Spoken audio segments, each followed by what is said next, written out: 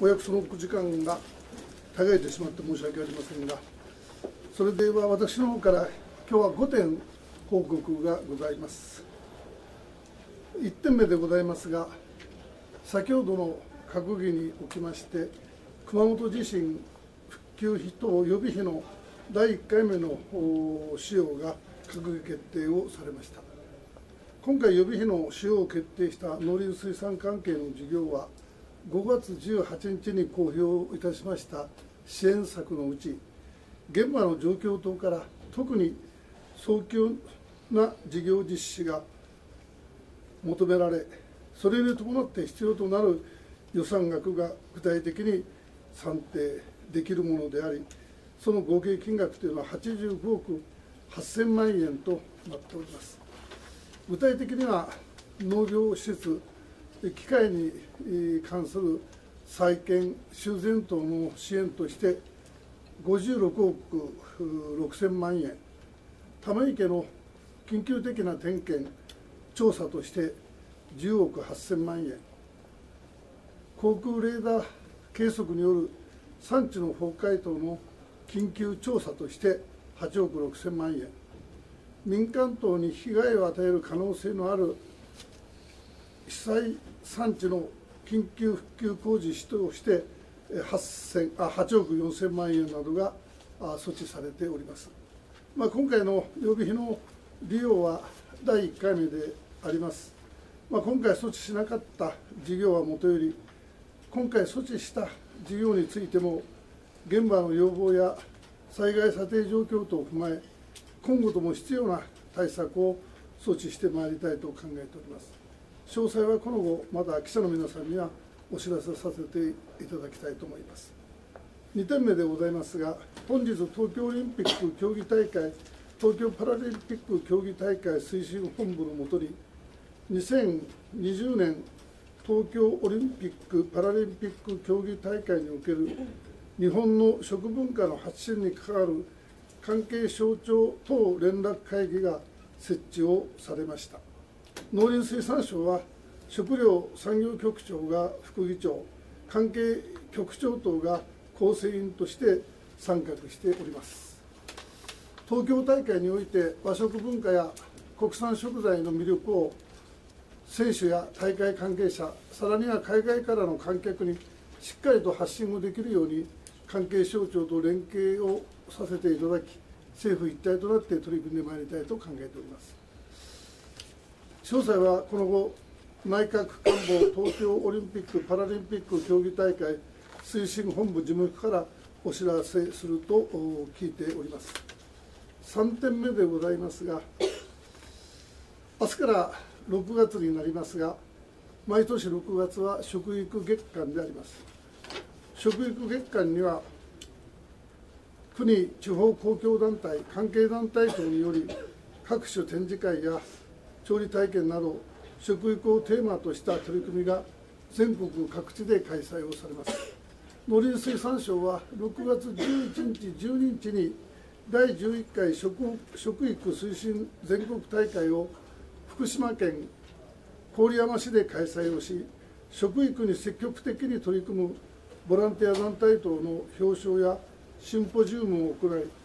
また初めての取り組みとして6月17日金曜日を農林水産省における弁当の日としてできるかげできる限り自作の自作の弁当を職場で一緒に食べることとしております。食育月間におけるさまざまな取り組みを通じて食育に対する国民の理解が一層深まることを期待をしているところであります。4点目でございますが私は6月2日から3日にかけて G20 農林大臣会合に出席をするために中国の西安に出張いたします農業大臣会合では食料安全保障や農村開発などの課題について議論をし閣僚コミュニケが採択される予定でありますまたこの機会に各国要人との倍の会談を行う予定であります。え5点目でございます。えさらに今週末の6月4日土曜日、5日、日曜日にかけまして、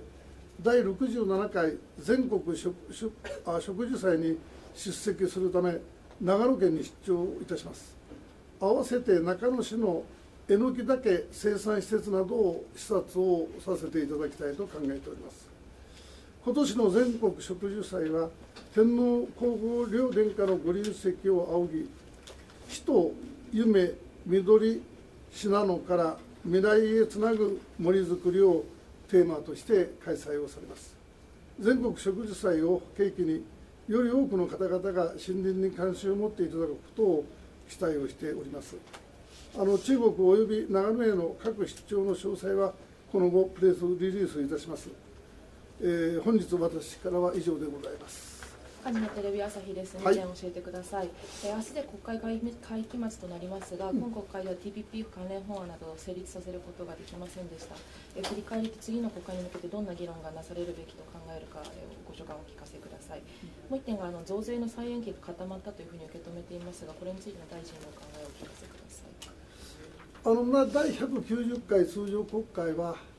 農政新時代の幕開けとなる最初の国会だったと認識をしております。まあ、今国会の冒頭では TPP 合意を受けた新たな国際環境の下においても生産者が安心して再生産に取り組めるよ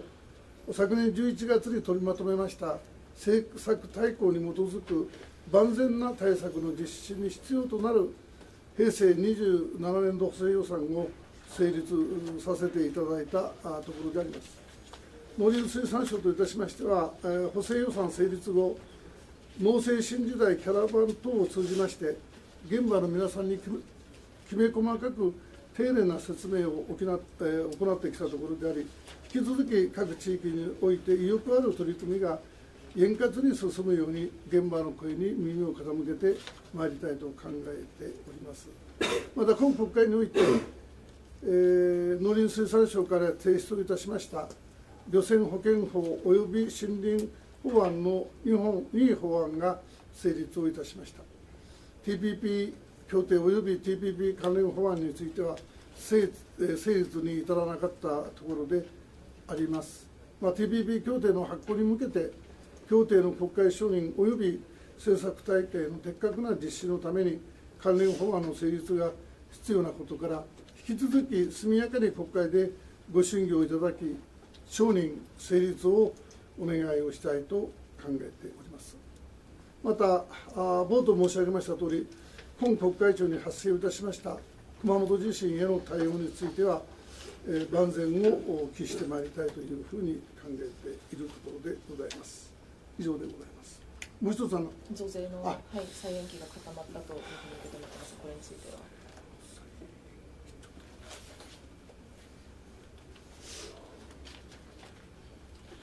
まあ、あの増税につきましては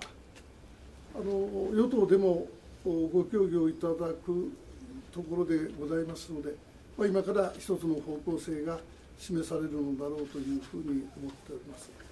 まあ、国内の景気はともかくといたしまして、まあ、新興国を中心としたやはりリスクがあるということはその通りでございますので、あの与党のご審議を待たなければなりませんが、あの総理の一つの、え示された方向というのは、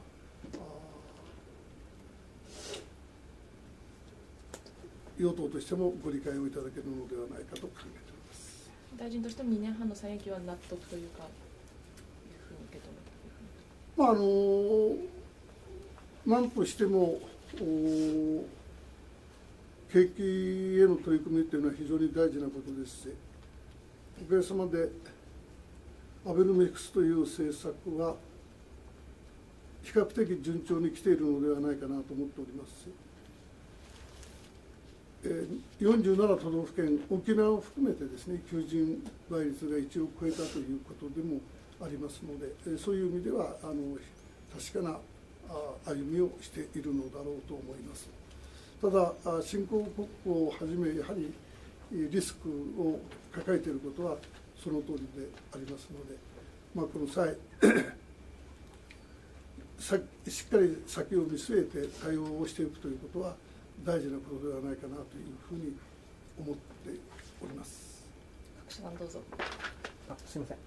日本農業新聞の山崎ですが、あの熊本地震の関係で伺いますが、はい。あの今年の稲作の再開に向けて、今、農水省としてもさまざまな取り組みやってらっしゃるかと思いますけれども、その一方で、作付け不可能な水田っていうのは、今、どれぐらいあるか、取りまとめしてらっしゃいますか？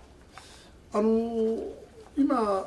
我々としてもお現場に出向きましていろいろ土地改良区の皆さんやあるいはあー農業団体の皆さんとも協議をさせていただいているところでありますが当初500ヘクタールぐらい耕作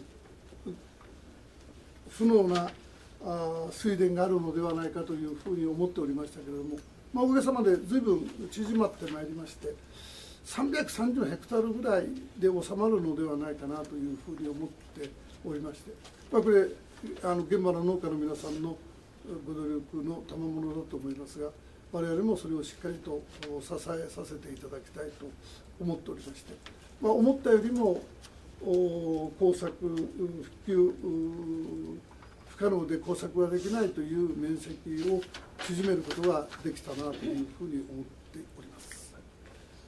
すみません、あの朝日新聞なんですけれども、あの高知県の土佐木農協というところがあの組合の農家にあの収穫したナスを農協を通さずにあの、えー出荷する、あ通して出荷するようにあの不当な圧力をかけたということで、公取があの法違反であの調べてますけれども、それについて大臣、どのように受け止めていらっしゃるのか。あの本件につきましては報道では承知をいたしておりますがあ農林水産省として事実関係は承知をしていないところでございますけれども、まあ、農協は独占禁止法の適用除外を受けておりますが取引先である農業者との関係において農産物の販売や肥料農薬の購入を強制するなど不公正な取引方法を用いる場合には独占禁止法が適用される、まあまあ、このような行為は禁止をされているということであります。農林水産省といたしましてはこれまでも農協の監査指針独占禁止法違反に対する厳格な指導監督の必要性を監督指針に明記をさせていただいておりますし公正取引委員会とも連携をして全国各地で説明会を開催するなど独禁法違反の排除に向けた、まあ、対応を行ってきたところでありますまた今年4月に施行されました改正農協法におきましても農協は組合員に事業利用を強制してはならない旨が、まあ、明記されたところでございます。まあ、今後とも独占禁止法に抵触する疑いが生じた場合には、公正、えー取引委員会とも連携をさせていただいて、厳正に対処していく考えであります。この後予定がありますので、あと1問でお願いできればと思います。あ大臣の熱気の基盤です、あの増税先送りに関連してですねあのやはりこう増税を先送りするならば衆議院を解散して信を問うべきだという声もありましたけれども、この点について大臣のお考えをお願いしますまあ、あのそれはいろんな考えがあるんだろうと思いますが、あの解散権は総理の宣言事項でありますが、ありますから、私が申し上げる立場にはないと